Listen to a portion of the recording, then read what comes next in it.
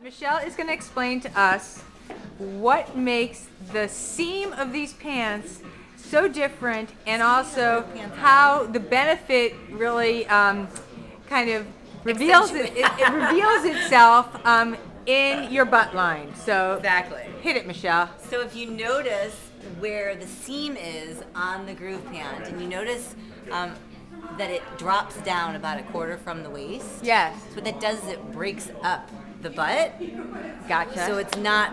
It, it actually serves as not so much even like a distraction so much, but it, it literally breaks up the The the, dis- size and the right. distance and all that. And you know, I mean, it's still a great fitting pant regardless because of that seam.